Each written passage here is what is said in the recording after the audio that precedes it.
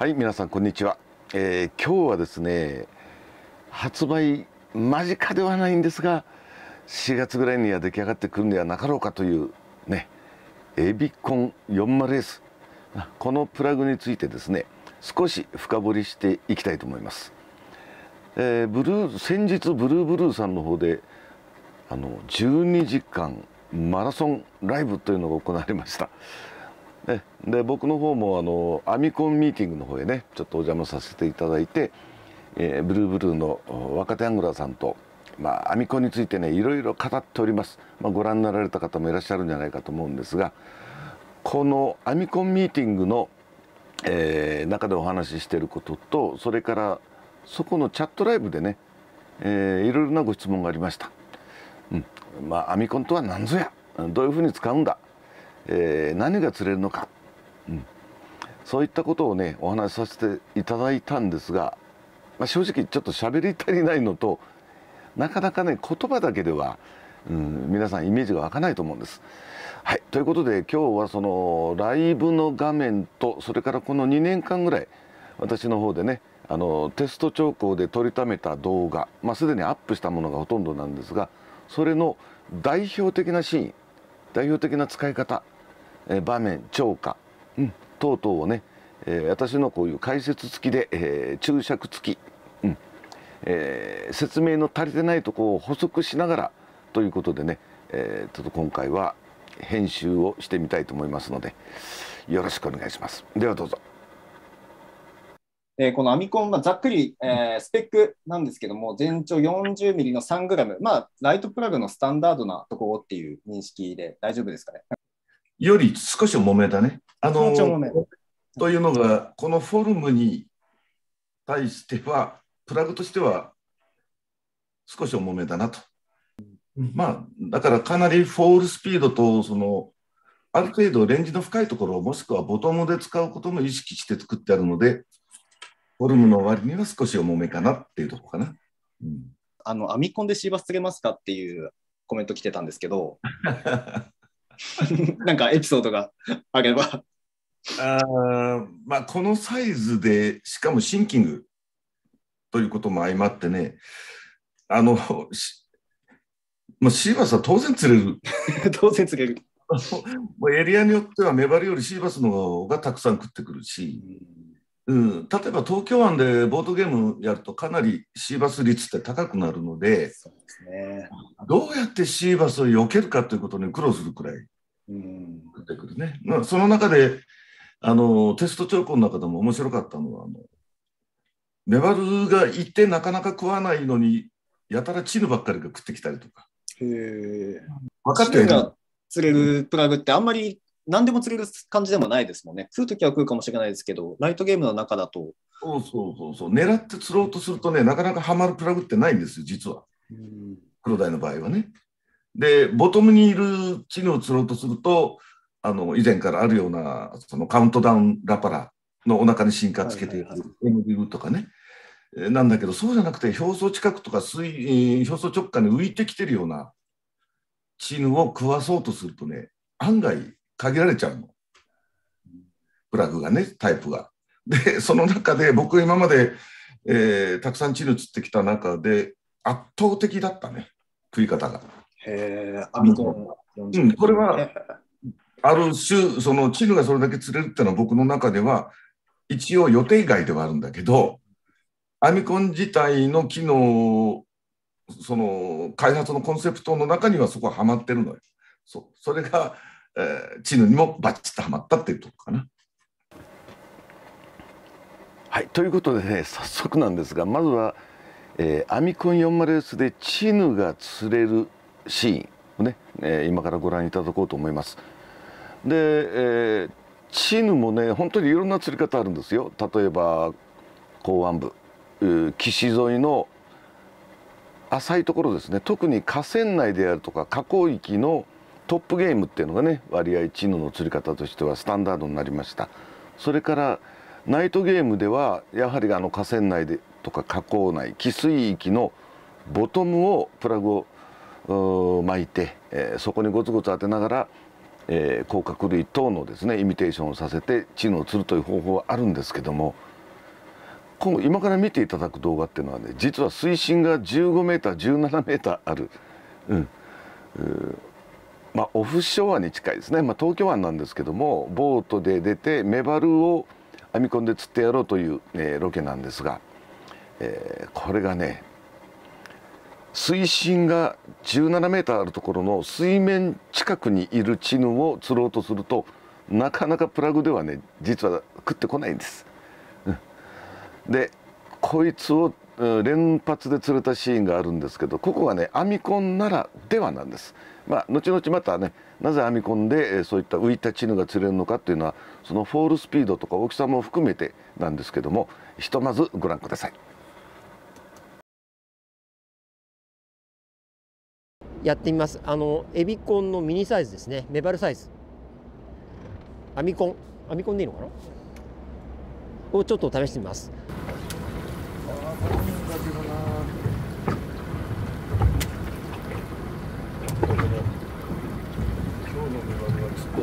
渋い渋いというかなんというかこうよしだった。こんなしっかりとしたね。よしだった、うん、あれ？ちょっとちょっとおかしくないかこれ？引き方が。丸バットでかいですよ。ですね。っていうかあれ？おかしくねえか？銀色に光ってんじゃないの？たまにいるよ。慎重に慎重に。でかいのか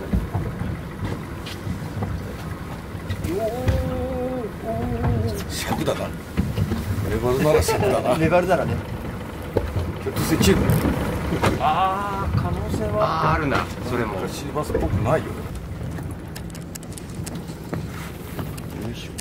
まだ浮かないんだ。お死ぬだ死ぬだ。俺の勘が当たったろ。はいはい。来ました。チーヌだよいやいいの来たじゃないですか。はい来ましたね。いいの来ましたね。メバルじゃないけど、うん、いやテスターの仕事今日は満点ですね。えー、ナイスサイズのねチヌが釣れた場面なんですけどもちょっとあの背景地球さんの背景ご覧ください。あのタンカーではないんですけど何か大型の貨物船のような台船のようなこう鉄の壁があるわけですね。で水深はここは17メーターぐらい、うん、でこういうところについてるチヌって実はあの私たちね港湾部でライトゲームやるアングラーがよく見かける堤防の壁際にチヌが餌をつつきに来てるでしょまあそれはちっちゃな貝を食べに来たりエビや小さなカニがねそういうそのか、えー、岸壁にくっついたいろんなものの中でうごめく小さな、えー、餌を動物を食べようとしてチヌが来てるわけです。でこういうチヌを釣ろうとするとね通常は落とし込みといったね特殊な、えー、釣り方をしないとなかなかヒットしてくれない。まず、うん、ルアーで釣ることはね難しいタイプのチヌなんですこういう場所は。でここでなぜ、えー、編み込んでチヌが釣れたかというとそれはね編み込んのサイズとフォールスピードがキーワードなんです。落とし込みにかなり近い状態になっています。だから地球さんもキャストして、えー、フォールさせて止めた瞬間かそこから少しリトリーブに移行した段階でね食ってきてると思うんですがこのあとあかねちゃんがね全く同様な形で釣りますでこれは手元とかね、えー、ロッドワークに注意してご覧いただくといいんですがまさしくアミコンのフォール中のバイトが訪れます。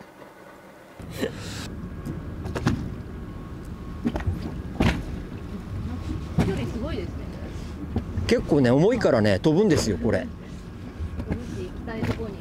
うん。でもこういうねルアー待ってたと思う。ベイトダックルで非常に使いやすい。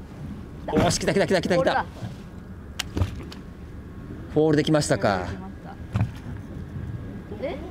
何？あチヌか。チヌっぽいか。チヌっぽい。ああるある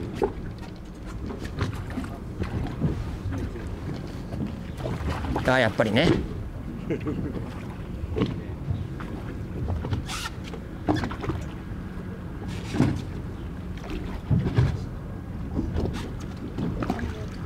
はいナイス。あいいサイズじゃん。いいサイズじゃん。立派。立派なチーズ釣れた。うお久々に釣った。嬉しい。だけど大きい聞いたよ。なんかいいサイズだよね。うん、ゴンゴンゴン来た、えー。うん。あそこのところの壁のところについて待ってんだと思うんだけど。ボールで当たったから。うん。でゴゴゴン来たから何かと思って40メーバルかと思ったよ。さっきだかどっかで聞いたような。そうそう。ご立あすごいよ。いいとこかかってますね。ね。ほら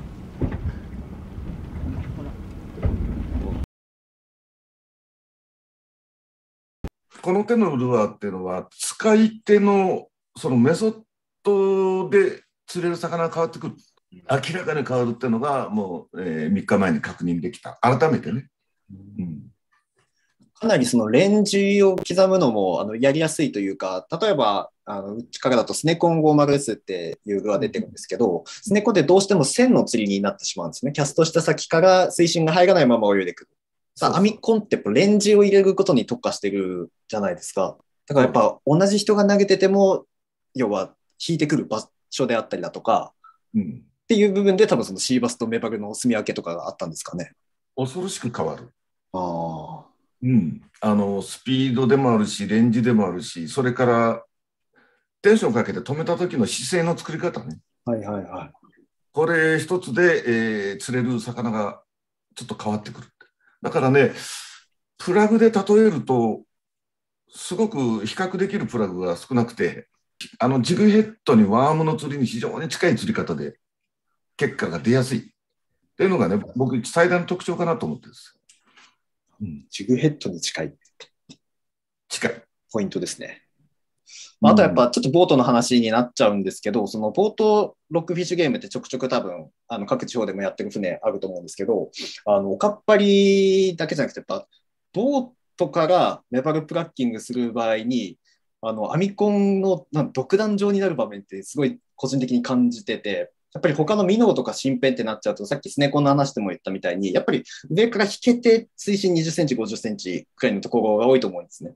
で、みんな落とすときにやっぱジグレットに変えちゃうんですけど、アミコンってさっきも言ったみたいにレンジ刻んで、要はラインの角度ができる釣りにすごい特化してるんですよ。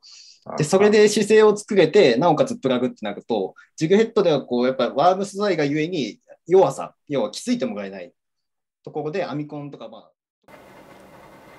はい、今ライブの方でね、あのいろいろとお話話をしてますけどもアミコンの特性としてレンジを入れやすいということをね、えー星君も永井君も、えーこのライブの中で言ってましたけどもこれがねまさしくあの一般的な一般的にあのメバルプラッキングで皆さんが使う、えーフローティングミノシンキングミノそれからリップのついてないシンキングペンシルとはねちょっと違うところなんですよ。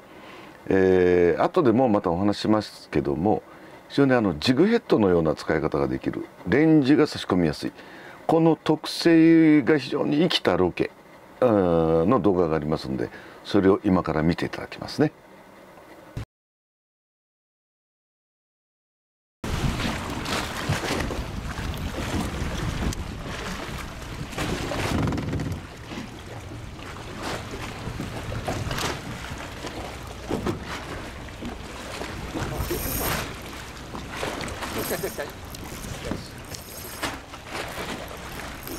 わかりましたわかりましたあそうか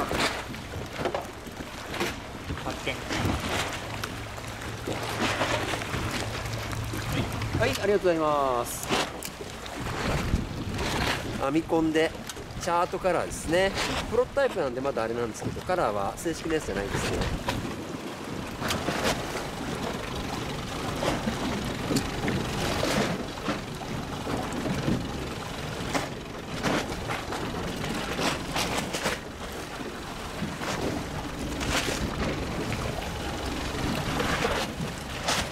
やっぱりしょお太った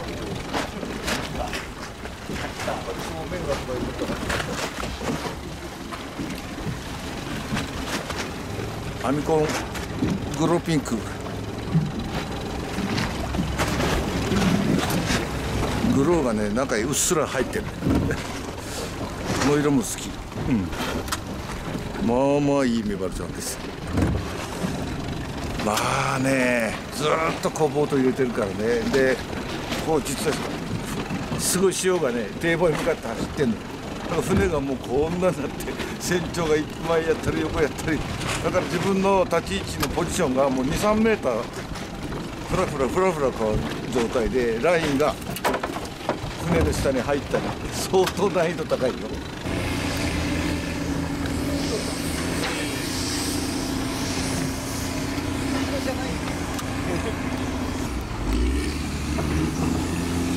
アミコンです今、えー、とバースの柱のところについてるやつを狙ってちゃんと狙い通りにきまし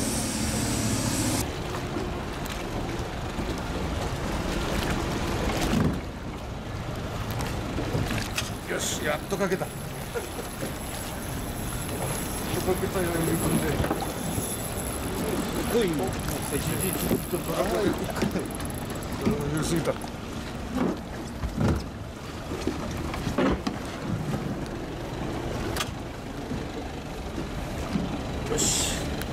フロートで飲まれてるから見えない。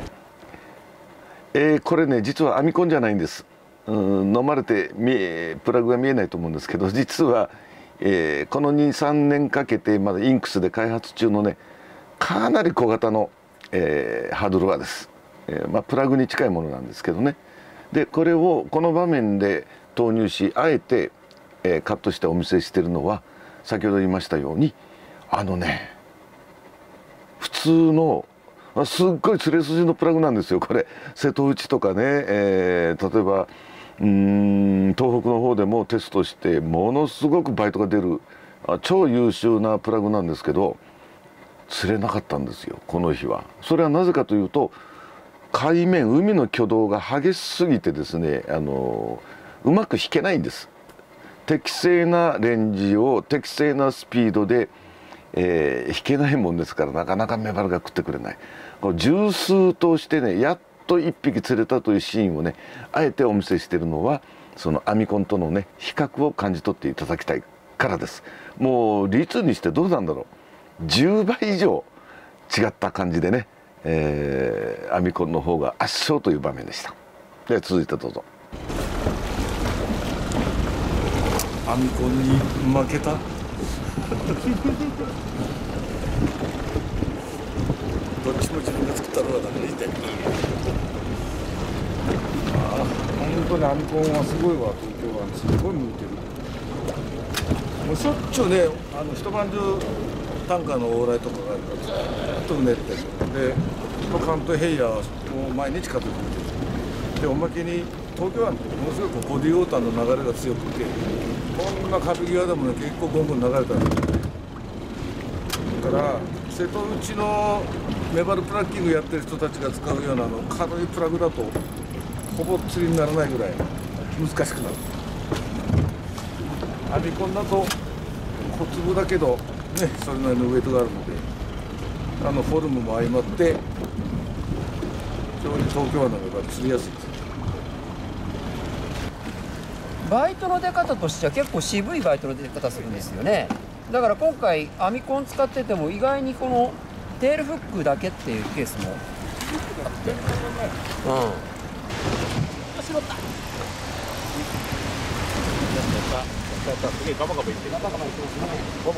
入ってますねおいいサイズ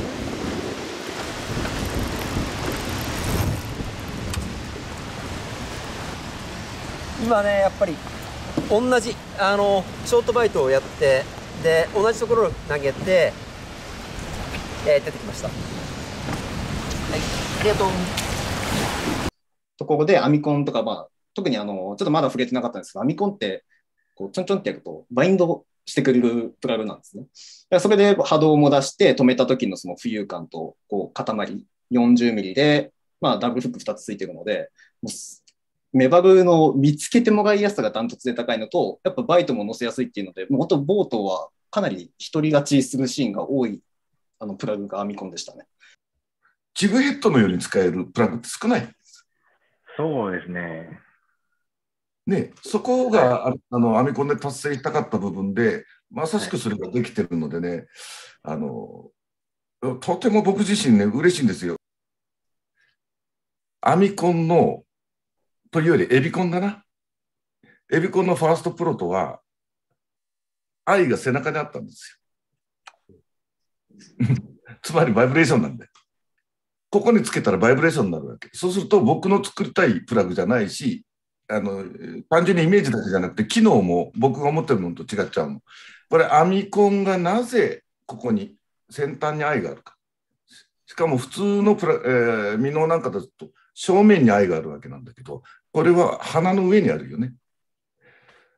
うん、ここがね、実はエビコン、アミコンの最大の肝なんですよ。ここにあるって。だから、えー、バイブレーションのようにバイには動かないけど、アミコン、エビコン特有なアクションっていうのは、このおつむの上に愛があるということと、これクリアなやつを見たらあかんだけど、シンカーは顎の下にしか入ってないの。かんで、あ、ゲジ君見せてあげてもっと近づけ。顎の下なんだよ、シンカーが。うん。完全なフロントウェイトなんです。これに対して愛をその直上上につけることによって、えー、アミコン特有の動きが出せる。僕が最初か、さっきから何度も言ってるように、ジグヘッドだよって言ってるのはこういうことなんです。ジグヘッドはシンカーの上に愛がついてるでしょ。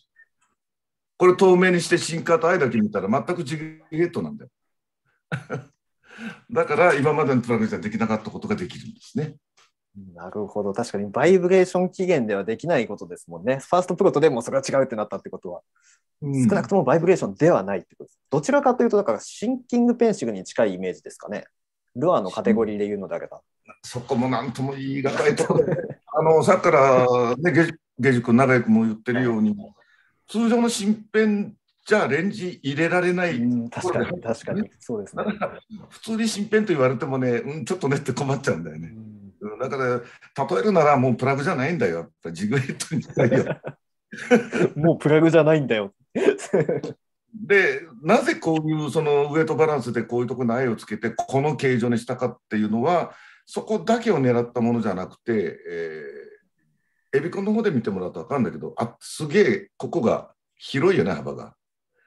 横から見ても頭でっかちで、正面から見てもこの幅の広さ。これは何を意味するのかっつったら、ここの面積の広さで、そのフックポイントを隠す。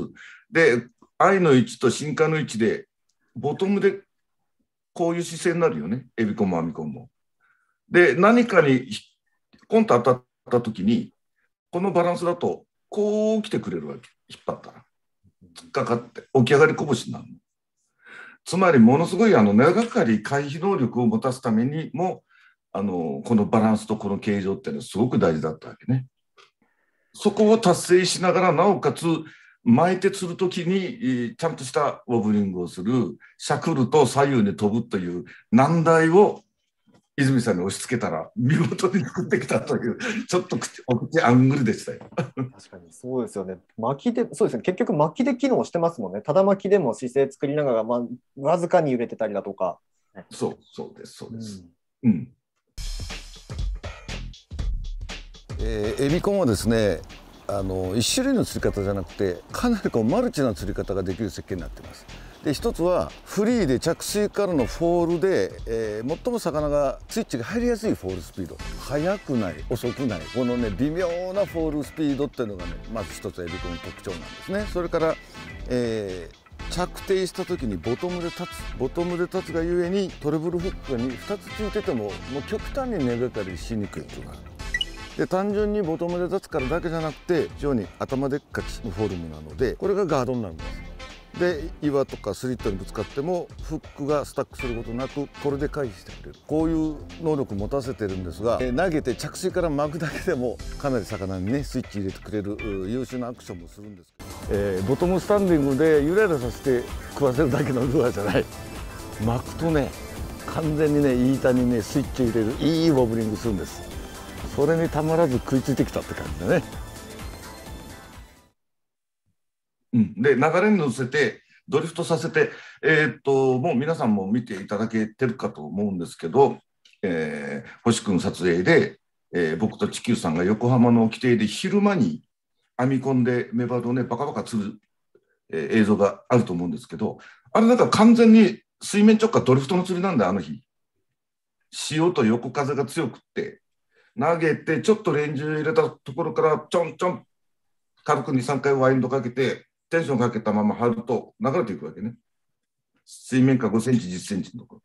それでバカーンと食わしてるわけだけど、そういう釣り方をできるようにするためには、ああいうふうにこうストンと落ちちゃダメなんですよ。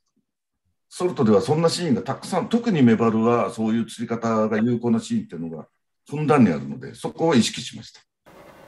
はい次はですね、えーボートでのナイトゲーム同様非常にあの風が強く横風が強くてですねそれから小見潮上げ潮で潮流も激しく流れてました。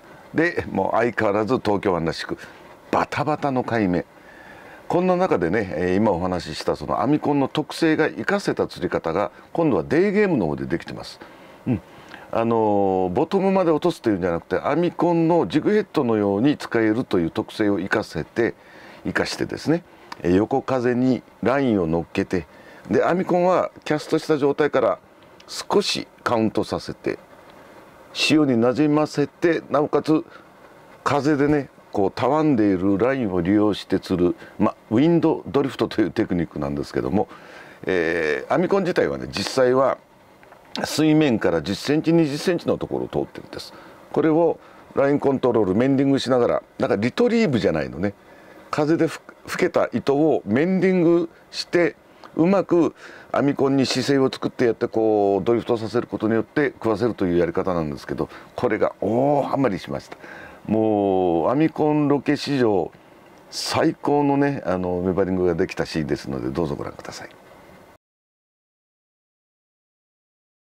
自分がその最初受け取って使った時にあこれ何だと思って使えばいいのかなっていうのが形から分からなかったんですよ。なるほど。ええ、パッと見はバイブレーション。でもあのちょっと新編っぽくにも見えるなみたいな感じで。で実際にやってみるとただ引くだけでもちゃんと釣れるけれど、ポールで実はすごく釣れるっていうのに気がついた、でこれ縦方向が実はすごいいいプラグなんじゃないかだったらねメバルプラグとしては珍しいですよね。さすがいいとこ気がつくな なるほどなるほど。相変わらず何も教えてくれませんからね、一切言いませんから。ね物をパッと出してそのものを実際に自分で動かして使ってみてどういうものなのかが理解できないと実は難しいじゃない？釣りって、うん、なるほど。そこで気が付いていただけたっていうのはね作り手の一人とちょちょっと嬉しい、褒められてましたうん、よし来た。よしあよしよしよし。ーあー来た来た来た来た。一発当たった。メバルであーいいサイズおおーでかいでかいでかい。いい。今度は一発でフロントフック一発だ。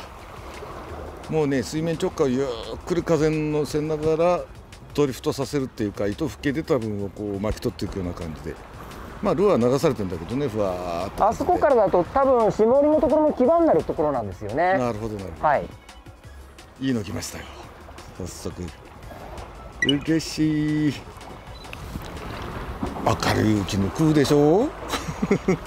まあベイトのタイミングもあるしえあのエリアの問題もあるんだけどね。昼間によし来た来た。来た来た来た来た。た来た来た来た突入ですやっぱり。引くね強いメバルおーこれはまた相当サイズいいじゃない。でかい。でかいでかいでかいよっしゃ素晴らしい。ーやばかったです今これ。潜られ一気にグッ。25ありますね。25のいやいや。さすがジモティーこうサイズの差を見てくれ。いやいやいや。こういっぱい引いたこれは聞きました今やばかったやばかった。P08 でやってるんでドラッグはもうここでやるときはかなりマックスで絞ってる状態やってるんですけれどまあでも、アミコンでボトムをする釣りって結構下げてますか？そうですか、えー、と今回のはい。3日前のロケでもやりました。おーまあ、ボートからなん他からも僕はしょっちゅうやるんだけど、ボートから、えー工場地帯の壁の下にあるテトラ、東京湾にはそういうところ。それボート入れてもらって、水えー海面に出てるテトラより1個沈んでるテトラの突風に当てて釣るんですよ。それは多分水深30センチとか50センチしかないよね。うん。そういう釣り方は僕しょっちゅうします。で、メバルたくさん釣れた。メバルがテトラ体についてるときは、沈みテトラの1段目、2段目へわざとコンタクトさせるんです、落として。で、えそこはある程度注意払わないと、スリットにズボッと入っちゃったらさすがに根がかれちゃうからね。でも、これがあのエビコン、アミコンのいいところで、フォールスピードがそんなに速くないのよね。明らかにジグヘッドの方が速く落ちるの、ストンと。そうです。でジグヘッドはちっちゃいから、ストンと落ちて、この岩と岩のこういうとこ挟まっちゃったら、もう全然取れないけども、そこがアミコン、エビコンっていうのは、フォールが、えー半分ぐらいのスピードだということと、頭がでっかちだから、かなり勇気を持って攻めることができる。ただし、そういう釣り方をするときの注意事項は、ライトゲームだからといって PE の03とか04とか使わないようにっていうのが僕のおすすめです。0506でリーダー2号ぐらいでいきましょう。そしたら、余震場スタックしても、フックスタックだったら伸びて回収できます。で、ヘッドスタックの場合は、外れる。こうやってれば。例えば、引っかかっちゃったなと思ったら、ぎゅーっと曲げて、糸引っ張って、パンパンってやると、パッとキックバックして外れてくれるので、あの、皆さんが思ってるよりはなくならないので、強い糸と、えーそういう外し方もね、ちょっと練習していただいたら、自信持ってガンガン使えるようになります。はい、ではアミコンによるねボトムの釣りどういうふうにしてやるんだ、えー何が釣れるんだってことですけどもまずはですねエビコンの動画見ていただきます。アミコンはエビコンの弟分ですから、えーほぼ同様だと思って見てください。えーあえて、えーエビコンでカサゴを釣るロケを見ていただくんですがこれはね高感度カメラを使用してえー工場の壁際に沈んでいるテトラ体をね釣っていく釣りですのであのどんなガチャガチャどんなすごいところで釣ってんのか、うん、どういうふうに動かして釣るのかっていうのがね非常に見ていただきやすい映像になってますので、ねまあ、そちらをご覧ください。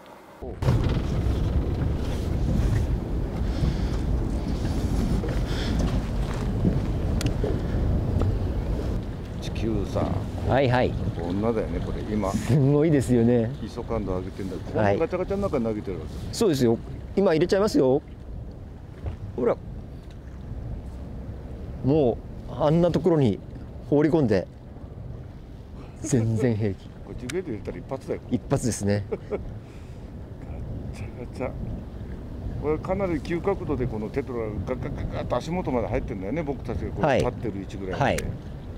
だから普通だったらその放り込んだ瞬間は良くても次の段に落とした瞬間に滑り落ちちゃうんですよ。ずずっと入ってるね、やっぱりあれですね。ギリギリに入れてちょっと次の段に行ったぐらいで食ってきたんであの沈み位置をうん。考えたらこれね。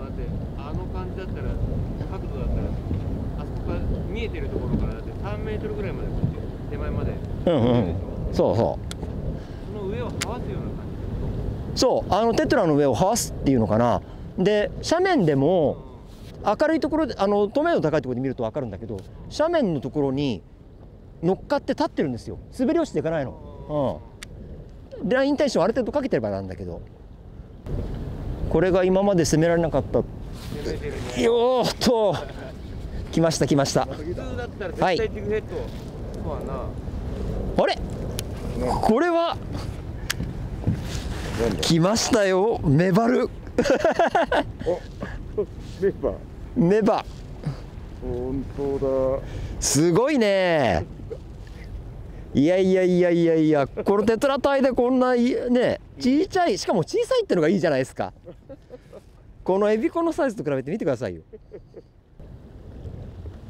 ん？これは？おおしょしいつの間にか食ってましたね。当たりが取れると言いつつ取れてねえじゃねえかとかって言われそうですけど。よしよしよしよしちょっといいぞあれ？ちょっといいぞさっきより。これ。どうですか？あのやっぱりね同じような感じです。ステイさせたまま待ってたらスポッて食ってくれたみたいですね。絶好調。絶好調。楽しい。絶対楽しいですよねエビコンの釣りは。そうそうそうそってことはさ完全にテトラの上に乗っけて落として落として落としてっていう、うん。テトラの枠からポンと出てくる。うそうそう。片方を狙うってことですそうそう。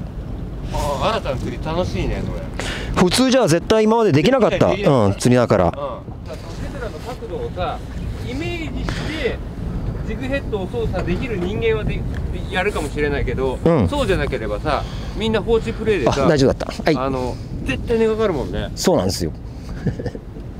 それはすごい。じゃあこれもリリースします。これ新たなちょっと釣りでいけるよ。いきますよね えー、遊漁船の船長がね あの見たことのない釣りでボンボン釣るもうトレブルフックのついたプラグでガチャガチャのテトラの中へ放り込んでカサゴをボンボン釣るもんだからもう船長もびっくりされてましたけどまあこれが基本的なエビコンアミコンのね、えーガレバ、えーロックエリアで釣る時のね基本的な性能ですのでまずこれを頭に入れといてください。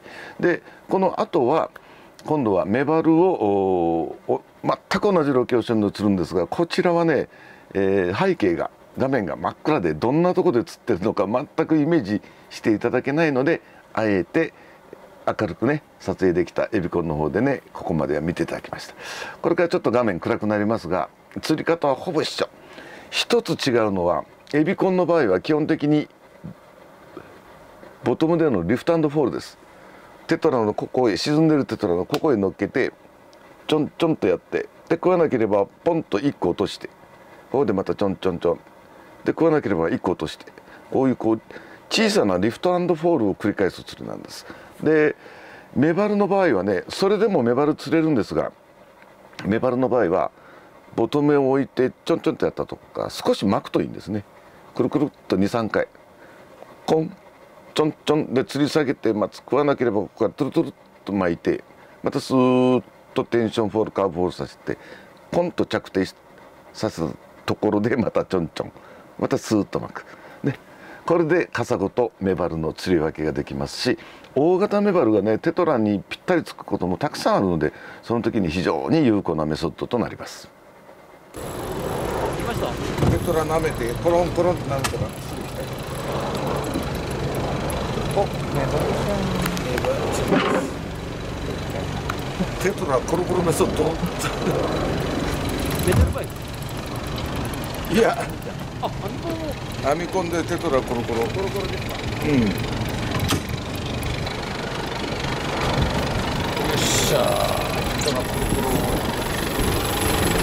お見てるでしょ最後見たの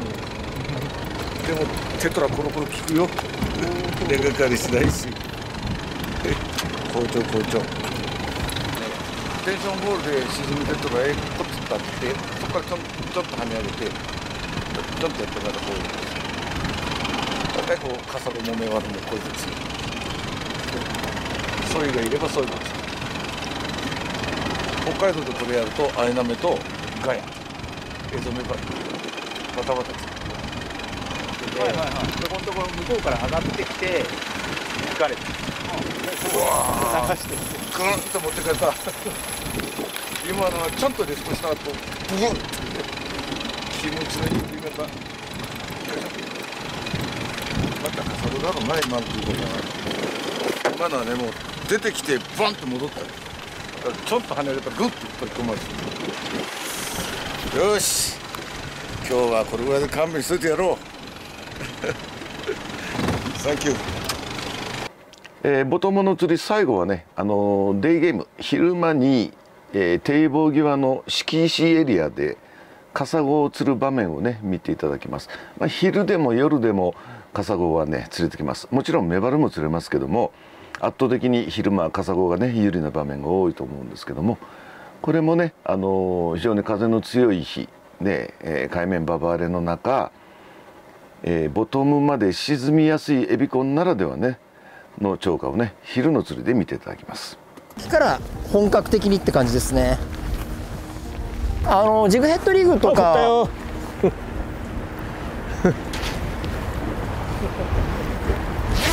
今度は少しはサイズがいいぞ。おお強いじゃないか。なんだなんだ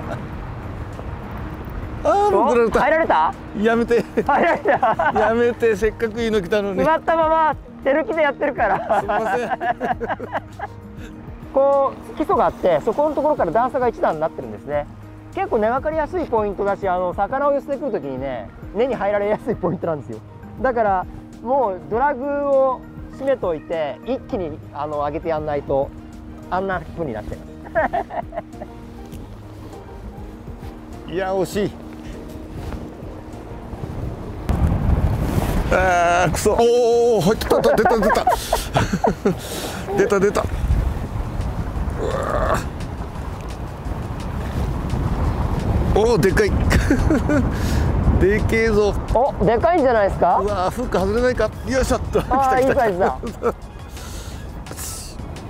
時間かけて釣った甲斐がありました。思いっきり沈めて長く止まって。ちょんちょんちょんちょんとやりながらボトルボトムを引きずってきてたら。いい加速だこれ。ちっちゃいのしかいないとこ悪口言ってたらでかいのいるじゃん。だから先ほどのゲジ君の話ですが、姿勢を作って流れを当ててあげるというのは具体的にはどうやるんですか？ロットを立ててラインを張ってゆっくりリーディングする感じってきてますけど。難しいですよねこういう言葉で説明するの。ちょっと難しいですよね。うん、でもジグヘッド単体と同じようなイメージはイメージなんですけど、まあ、アミコン自体3グラムで、まあ、結構飛ぶんですよね。なんで、実際手元からの角度ってなると結構浅いんですよね。その、ジグヘッドだと縦、縦になりがちじゃないですか。それが、まあ、飛距離が出る分、若干、その、横の釣りに近くなる。水平に距離が出てしまうんで、まあ、ジグヘッドよりは若干横に錆びく感じにして、ちょっとだけ支えるイメージで止めてやるとちょうどいいと思います。答えになってたでしょうか？ちょっとだけ支えるイメージって感じですね。また、ニュアンスの。いよ、でもそれ。いや難しいですよね。はい、例えば投げて自分の説明するのレンジまで入れたら、はい何もしないわけじゃなくて、そこでちょんちょんとか、ちょっとアピールかけたいよね。ちょんちょんとアピールかけた後、ルアーの挙動が収まるところがこう支えるところなんだよね。視線を作るというより、はい何か落ちていくルアー、まあフリーだったら頭下がって落ちていく、もしくは S- HPSJ かけてればこうなってるから、この挙動が落ち着くまでの時間があるじゃない。落ち着かせないといけないよ。はい。食わせの間作るのにね。はいその落ち着かせた最後の形がこうちょっと支えてるっていうのが僕も同じ意識でやってる。ああ、そうそうです、そうです。全くそれと同じです。はい。それが姿勢を作るという言い方変えればそういう言い方になるよね。そうですね。はい。最初の方に若干ライトプラグだと気持ち重めって言ってたのも、そのベイトフィネスで当てはめるなら、あの入門編とかにもすごい使いやすいかもしれないですね。最初の一つにしては。そう、ファットに見えて、えー全体のボリュームとウエイトからすると空気抵抗少ないのよ、意外に。だから空気抵抗の大きいプラグをベイトフィネスで投げるとバックラッシュしやすいんだけど、こいつは失速せずにスーッといってくれるので、バックラムしにくい。そこ利点かな。投げやすいし、レンジも入れやすいってところですかね。うんアミコン 40S。めちゃめちゃ飛びますよね。なんか形の割にはそうなんですねはい。俺こんな飛ぶかなみたいな。意外と丸っこいんで失速するかなっていう感覚で投げると意外と遠くまで行くのが深海としてもないのにね。固定シンカーだけどね、しかも頭に。そうなんですよね。でもくるくる回ったりしないでしょ？しないですね。個姿勢もかなりいいですよね。キャス、フォール、キャスト姿勢っていうのかな、が意外に安定してるんじゃないかなという気がします。なるほどなるほど。回らない。多分ですねウエイトが偏ってるからなんですかね。こここここであるからね。はいはいはい ここのところにね。ねとキャスト姿勢は安定してると思います安定して、はい。飛距離も飛距離もよくね。よく出ると、はいすごいベイトタックルとだから相性がいいですよね。ああ確かにそれ感じるな、ええ。まずね。そのキャストの時にウェイトがあるから飛ばしやすい狙ったところに落としやすい。うん。なおかつそこからフォールの時にいつでも合わせられるんですよね。だからフォールかけて1秒フォールしたところでもスプール止めてその瞬間に合わせることができますからね、うんうんうん。はい、ああいったようにフォールで食わせることができるプラグなんでベイトタックルとの相性がすっごい良かったです。なるほどです。えこのアミコンと一緒に、うん、ベイトタックルの優位性もね一緒に説明できてるからめちゃくちゃ嬉しい僕は。新編だったらあのーミスバイトがありましたって時でも基本的にはそのまま巻くのが一番ベストっていう感じになりますよね、下手にそこで巻き止めると見切られたりとかっていうことが多い、でもアミコンは積極的に止めてここでフォールやると実はそれで食ってくることがある。なるほど。ね、なおかつそこで実はあれバインド得意じゃないですか、うん。でそこでちょんちょんとやってそこでスーッてやるとじすごいショートバイトがガツンってきたバイトに変わるってこと。なるほどね。すごくいいところでねあの最初から気が付いてもらってるんだけどあのメバルを釣るのに新ペンって結構王道なルアーになってるよね。ね自分も本当によく使いますね、うん。いろんなメーカーさんの新ペンがあるんですよ、はい。でただほとんど90%と言っていいぐらい水平でシミフォールなんですよ、そうですね。うん、でアミコンって吊り下げた状態からフリーで抜くと頭下にしてスッと落ちるんで、はいはいここがあの同じ新ペンに見えてもねもう全く違うルアーなんですよ、そこにやっぱりいち早く気が付いていただけてそれを利用して釣る方法をいろいろと工夫されたわけですよね、え違うなと。なるほどなるほど。お疲れ様でした。お疲れ様でした。お面白かったね今日の。釣りねあのガレバのカサゴラッシュに始まって、今日使ったのはねあのエビコンとアミコンという2つの、はい。まあ、シンキングプラグなんだけど。はい。この2つのプラグって地球さんもねプラグ好きで随分いろんなもの使ってるけどちょっと経路が違うでしょ。ですね。あのプラグってある意味その交通っていうのがあるじゃないですか、うん。なんかその意図した設計者の意図したあの表層をね極表層を通すとかあとサスペンドさせてそのタイミングでとかっていうのがあるんですよね。うん、まあレンジをね特にメバリプラギングだとかなりレンジ意識しないといけないんだけど、はい。このアミコンエビコンっていうのはオートマチックなレンジっていうのは決まらない。ですよね。だけどその分そのアングラの任意のはい。レンジをいろんな角度で通すことができるっていうのがこの面白いところだしね、まあ、あのガレバをやれるっていうのはフォルムがもうとにかく生きててもう地球さんも本編の中で全部持ってくれたけど本当に根がかりしね、ねうん。あれのおかげで随分なんか取れなかった魚が取れるようになりましたね、はい。その面白さはいということでねアミコンエビコンを使って、えー魚を釣るというハイライトシーンをねザザザッと見ていただきました。でなおかつライブの方でね、え3人でいろいろ説明していることの補足説明をね今日はさせていただいたわけなんですけどもあのーいろんなシーンを見ていただいて皆さんもねこれでだいぶアミコンに対するイメージがね、あのーご理解いただけたんじゃないかと思いますね。はい。うん、発売はねちょっと僕の方じゃいつになるか分かりません。これブルーブルーさんの方でやられてますので。まあ国際情勢、コロナの状況から鑑みてこう遅れるのはもう今仕方のないことなんですけどもなんとか4月中ぐらいに上がってくればいいなというふうにね僕も楽しみに待ってます。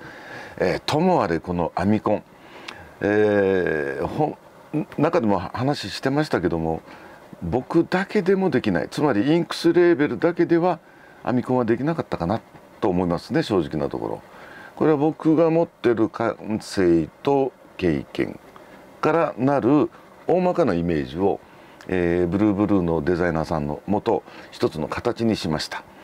えで一つの形の中に 例えばライン I の位置がありましたけどもともとはバイブレーション的なフォルムでデザイナーさん作られましたのでここの背中に I があったんですけどこれを私ヒートンを本当に3ミリから5ミリ単位でヒートンをどんどん動かしていってテストを繰り返して僕が一番出したい機能が出せる位置がをね探ったんです。これ随分時間かかりましたけども。でそれがここの鼻面の先に愛が来るというねちょっと独特なスタイルだったんですが、まあ、何を言いたいかというとですね、えー僕とブルーブルーのデザイナーさんのスキルがこうミックスされて出てきた。つまり1たす1が2じゃなくて3とか4になっちゃった瞬間なんですね。あのボディ形状からなるねいろんな、えースキルっていうのはねなかなか僕だけではまたあれが出せない、えープラグですのであれも素晴らしいな。まあマリアージュですよ。これこそ本当に。それからもう大体大まかな形が決まって あとはもうそのシンカーのわずかなウェイトであるとかねちょっとボディのフォルム側面をもう少し平らにするとかお腹を削るとか、まあ、微調整えー、だけでしたでそれで出来上がった量産型のモデルを今度はブルーブルーのテスターさん数名インクスのフィールドスタッフ数名おそらくね合計10名ぐらいのアングラーがね 関わって2年がかりでね、えー、完成されたプラグです。で、えー、今日本編で見ていただきましたようにいろんな魚がね、えー、バンバン釣れるなかなか今までにはなかったような使い方ができるもうキーワードは何度も言ってますけど今日はジグヘッドにワームのように使えてなおかつプラグならではのボリューミーなアピールが出せる、うん、プラグということでね是非発売をお待ちください。